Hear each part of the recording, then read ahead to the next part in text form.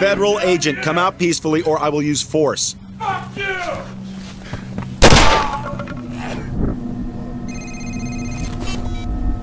Oh, yes. The city's full of them now, Thomas. Addicts, vagrants, psychotic individuals gone terribly bad. They come in all kinds, but mostly violent.